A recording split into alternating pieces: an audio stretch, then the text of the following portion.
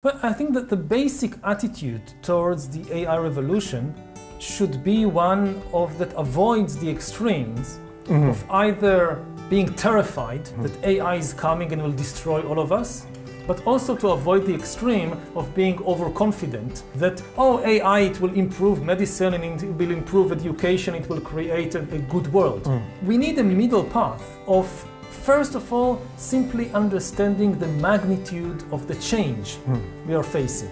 That all the previous revolutions in history pale in comparison with this revolution because again throughout history every time we invent something so we still have human beings making all the decisions. So for instance in the financial system i just recently read an article in wired about an ai that created a religion and wrote a holy book of the new religion and also created or helped to spread a new cryptocurrency and it now has in theory 40 million dollars this AI. Now what happens if AIs start to have money, start to have money of their own and the ability to make decisions about how to use it, if they start investing money in the stock exchange. So suddenly, to understand what is happening in the financial system, you need to understand not just the ideas of human beings, you also need to understand the ideas of AI. And AI can create ideas which will be unintelligible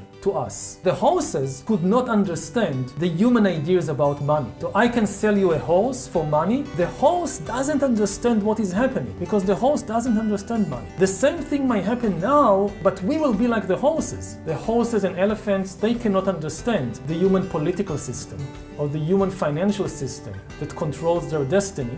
That the decisions about our lives will be made by a network of highly intelligent AIs that we simply can't understand.